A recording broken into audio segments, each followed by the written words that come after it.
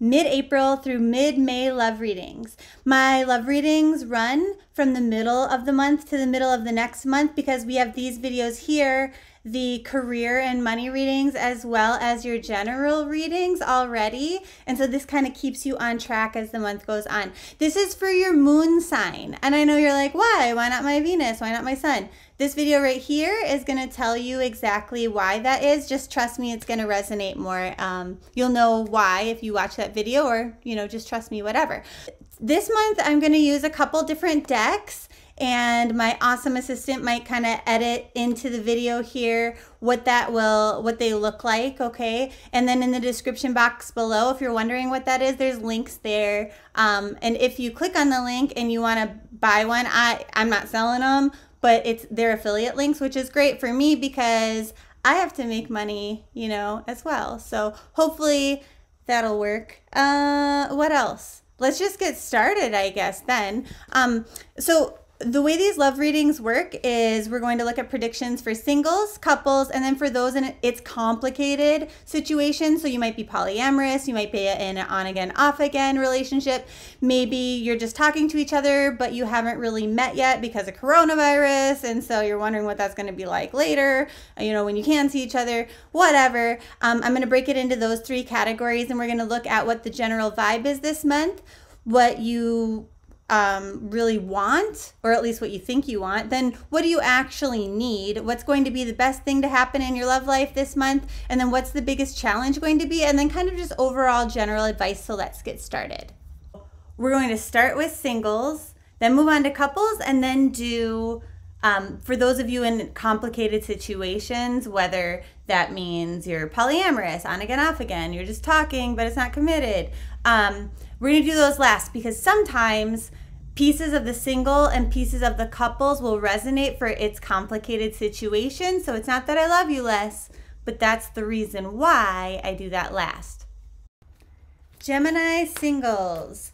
Your love vibe this month is if you believe that you can find love this month, you absolutely can. If you don't have a belief system, well, fuck it, you probably won't. Self fulfilling prophecy, right? So even though it might be hard with social distancing to find the right person, you can at least start developing relationships and weeding out people that potentially you don't want to meet when all of this is over. So, what is it that you think you want in your love life and from potential relationships in the future? And they're like discipline. You know, like you want somebody that encourages you, that helps you remember that you can do whatever it is that you set your mind to. And you want to make sure that you can meet somebody that can um, meet you where you're at as far as your lifestyle goes that won't be a distraction for you. Um, what is it that you actually need though?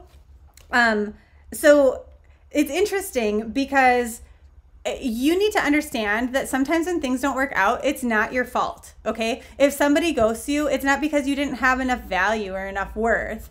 Um, it's just, you know, maybe something's going on with their life. Maybe they literally died. Maybe they're actually a ghost. Okay. So you have to keep that in mind as time passes. And you have to understand that the challenges in dating right now um, really have shit to do with you. And it doesn't mean you're not good at it and you're not good at finding partners or, you know, whatever things that have happened to you in your past is not because you deserved it if somebody cheated, right? It's because they're a fucking cheater.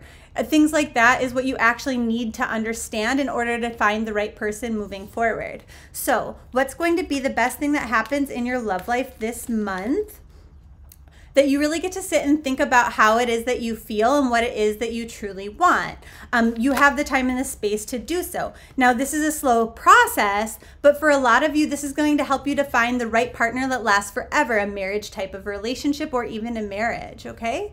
So, but going back to the beginning, you really have to believe that this is possible, that this month might be the month that you're able to really find that person, even though it's a little bit inconvenient, okay? So, what is going to be the biggest challenge for you this month? And they're saying to make sure that your emotions are all balanced. Um, that the way that you feel is like a practical and realistic way to think about things, and then to go out and start communication with other people, maybe joining an, a dating app or um, contacting somebody that looks cute on Facebook or, you know, shouting across out the window, you know, the street to a hot neighbor or something like that. Like actually opening the doors of communication is really important. Um, and for whatever reason that's hard for you, even though communication, I mean, Geminis talk their head heads off a lot of the time, but maybe just starting that and being the first person to reach out is a little bit challenging for you. But it sounds like for many of you, this is going to be worth it.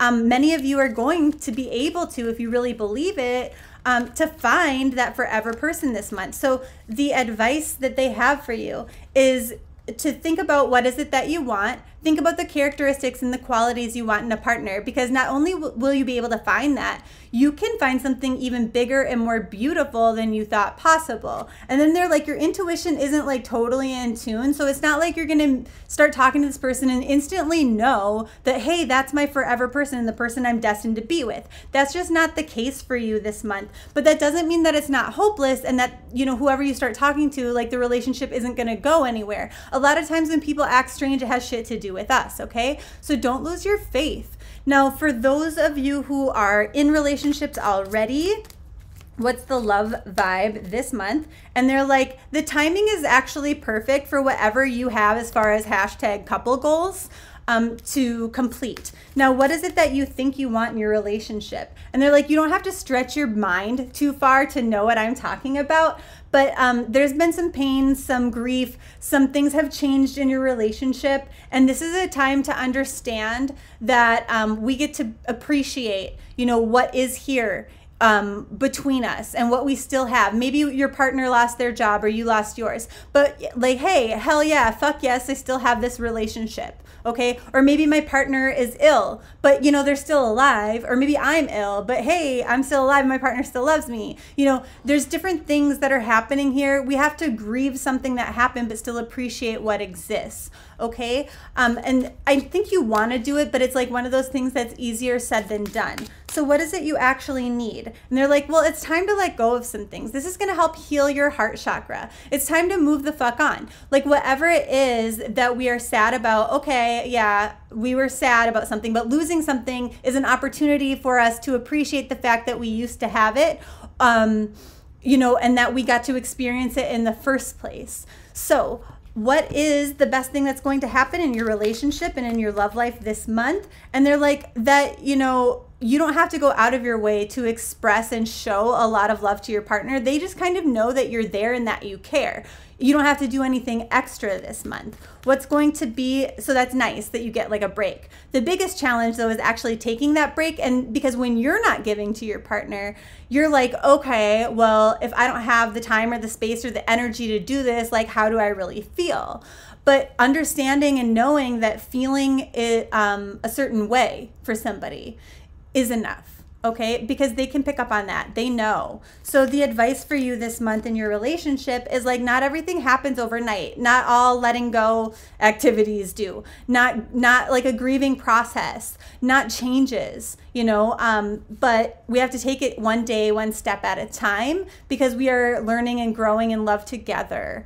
Um, so those of you in complicated situations or you know it's complicated is your status what is the love vibe for you? And they're like, don't give up right now. Don't stop working on this. Don't stop um, communicating. Don't shut down. Don't change it up too much. What is it that you think you want? Um, you don't want to have to take on other people's baggage. You don't want to have to give too much empathy and caring and soothingness to like somebody else because you got your own emotional shit that you have to deal with, and that's actually okay. Uh, what is it that you need? Um, so you just need to understand like maybe some of the problems that you have in this it's complicated situation aren't really that big of problems. Um you don't maybe things are better than you think you are. Maybe that's not being communicated appropriately to you but it's very well the case okay? So just take a deep breath and kind of understand that there are other perspectives here and maybe things aren't what they seem. So what is going to be the best thing that happens in your love life this month well, that people are going to try to offer you love, caring, kindness, affection, and things like that, but you might be kind of resisting this a little bit. Now, why is it a good thing that you would be resisting this? Well, because this is going to illuminate for you a pattern of your own behavior that doesn't serve you, that you think you can't walk away from. This is just how I am. This is my personality. This is my character trait.